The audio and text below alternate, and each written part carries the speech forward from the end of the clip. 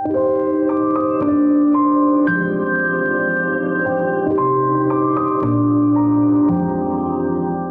guys, I'm Vineet, and this is me when I was 10. At the age of 10, I saw the first hack. Who got hacked? It was me who got hacked. Well, I belong to a tier 3 city, Ranchi. Heard about it? Ranchi, actually, those days, there was no connectivity. Internet technology was very new.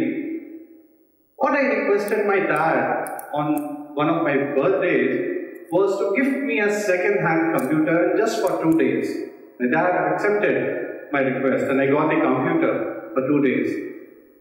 But somehow, out of my curiosity and he saw me how engrossed I was, he continued that. That was where I started learning technology, got the exposure, and internet.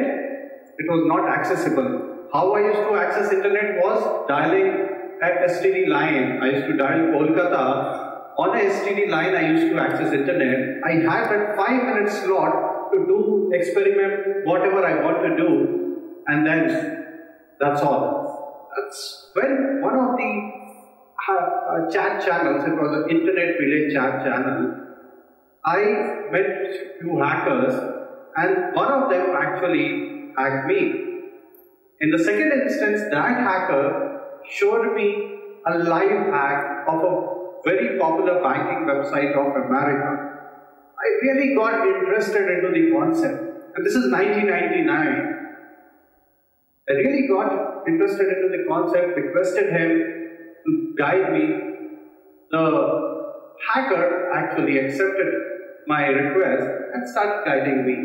And that's where I began. That's where the cyber journey began. But before that, let me tell you, even I am a multi-potentialite. I also started things quite young. At the age of 8, I was uh, a karate brown belt. I won some championships also at the state level. And then that's how, in fact, I've been really passionate, in fact, into this work, into adventure sports, into trekking, into paragliding, parasailing, and also the technology is biggest hobby that I have. So that's when the journey began, and today I'm here. Can you see this world? It's a cyber world. There is a transition. The normal world is changing into a cyber world.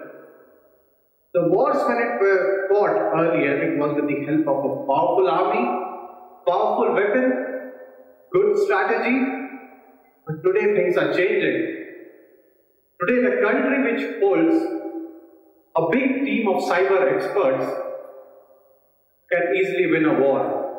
The cyberspace, again, it does not have a boundary. There's no boundary at all. Like we have physical boundary, there's no boundary in the cyberspace.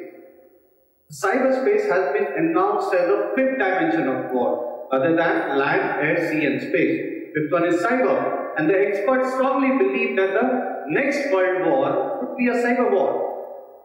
Okay, let me make it very simple. Have you seen the movie Die Hard 4?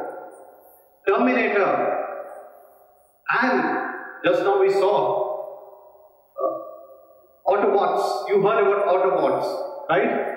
And all. So every movie that you see, you see that cyber angle integrated into it. So here goes the digital world. If you see the movie Die Hard 4, the movie has clearly shown, this movie was released in 2007, it showed how the world will be connected. Your CCTV cameras to your home appliances like your refrigerator, your washing machine, your cars, somebody can remotely control your cars. Somebody can remotely control the power grid, the phones that you use, the cell phones that you use, anybody can remotely control it, can spy you, spy your activities. And see, everything is going to be in the cyberspace. By 2020, we'll have 212 billion. That will be the total number of sensors enabled objects, and out of which 30 billion will be connected to the network. You can see the statistics, and it is ever increasing. Digital India, even the villages are getting connected. It's a challenge today.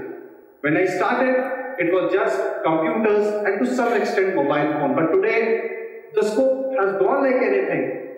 I need to protect my refrigerator also. I need to protect my car also. That is the thing, the CCTV camera also. So this is the cyber warfare. I see the cyber warfare coming soon. The, there have been cases, there have been warfare attempts, there have been few instances. The first one was the Stuxnet attack, where the first cyber weapon was used in a form of a pen drive. The pen drive was dropped in a parking lot of a nuclear plant, picked up by one of the employees, inserted into the official computer, and boom, virus everywhere.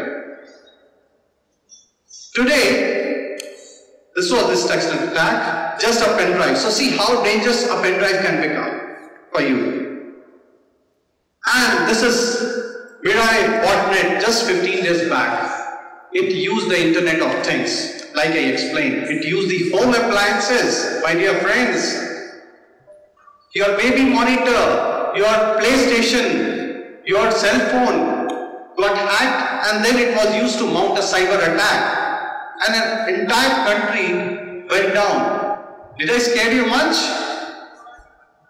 Don't worry guys, there are good guys also. So hackers, if you see, there are three categories of hackers, starting with a black hat, a white hat and a grey hat. Black hat hackers are the ones who work for offensive purpose. But guys, if you're planning to be one, there are good guys who will catch you. So don't White hat hackers are the ones who work for ethical cause. And the majority of white hat hackers are in the bracket of 14 to 17, the most smart ones. It's in your age group. Sitting in their home, they earn bug bounties. Bug bounty worth millions. They are the good guys who protect the nation's data, who protect people, who protect innocent people. And a grey hat hacker, grey hat hacker can be called as the combination. They are the hybrid hackers mixture of a black hat and a white hat. So it's a war between good versus bad. And that's where I come from. Do you think I'm a good guy? Okay. That's multi-potentialite and that's where I started, started my cyber journey in 1999. Wore multiple hats. Hat of a police officer as Chief Technology Officer Jharkhand Police to an army man that you can see I hold a rank in the army also.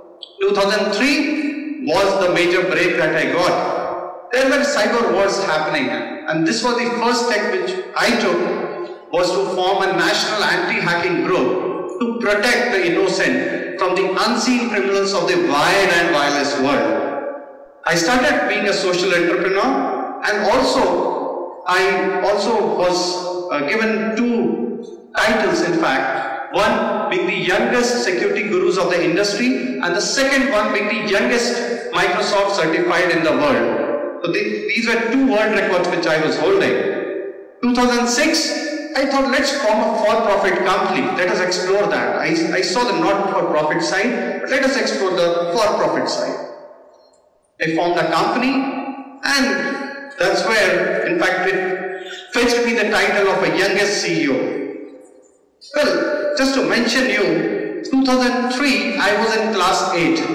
So the, the not-for-profit enterprise which I started, I was in class 8 that time. 2006, I was in my 11th class when I founded, founded the for-profit company. I was featured in the leading tech magazines, Digit, Chip, all these magazines featured my initiatives to protect the cyber world. 2008, Jharkhand police absorbed me. And because I was in the college that time, I was in the first year, they were not able to give me a post. So they involved me as a consultant, as an advisor. That was the time when I got some international awards like the UN Youth Award for my contribution for the Millennium Development Goals and other national awards. 2009, 10, 11, it was all following the passion, following the dream to make this space a secure space. 2011, I completed my bachelor's, was selected by the state government for the post of CTO, coming out of the college and immediately absorbed by the state government to head a state agency on cyber defense. And this was at the age of 22. It was a big challenge. And thank you. And let me tell you, the cyber crime scene then was quite bad. One of the calls which I received was from a police station where a, a, a, a girl like you walked into the police station with the request that, sir, somebody has hacked into my Facebook account. Can you please help in restoring that? Well, the officer really wanted to help, but then he could not understand what Facebook is. He said, Beta, what is Facebook and who's the author? He thought Facebook to be a book. And so he asked about the author. So that was the scene, that was uh, actually the responsibility which was given to me. And somehow within two years, we were able to raise the Cyber Defense Research Center.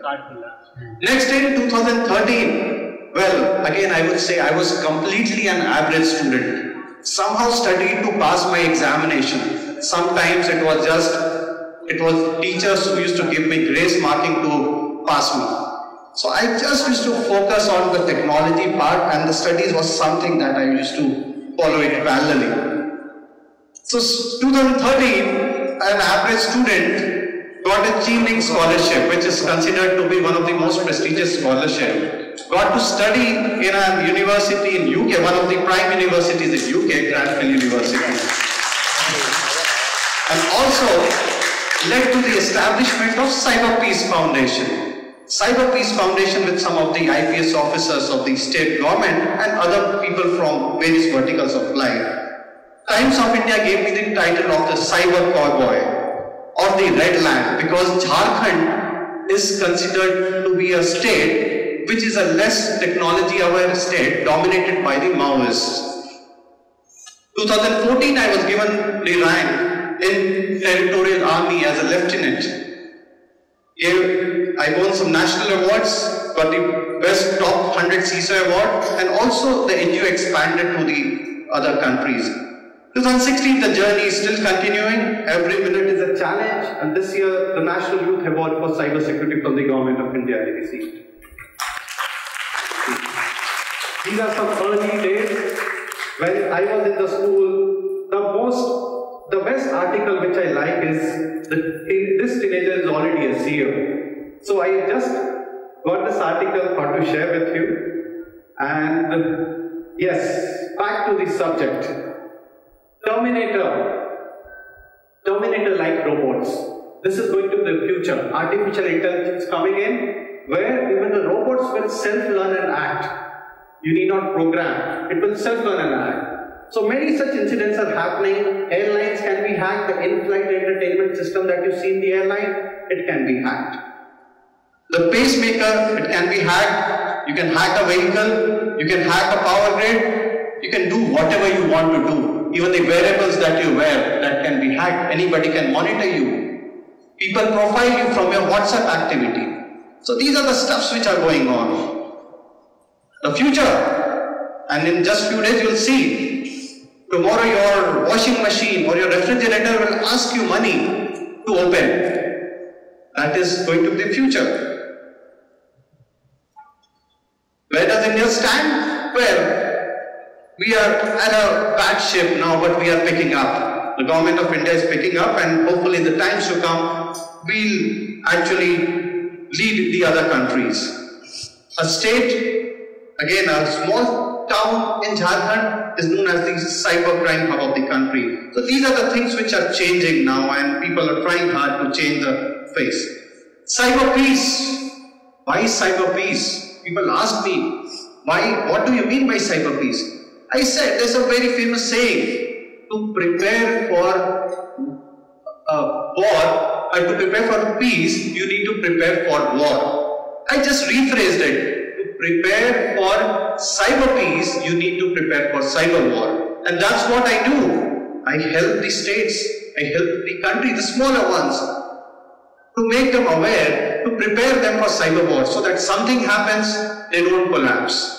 That is where cyber peace, what gives me? It gives me the kick. If I help those people, those countries, it gives me the kick that I am able to help someone.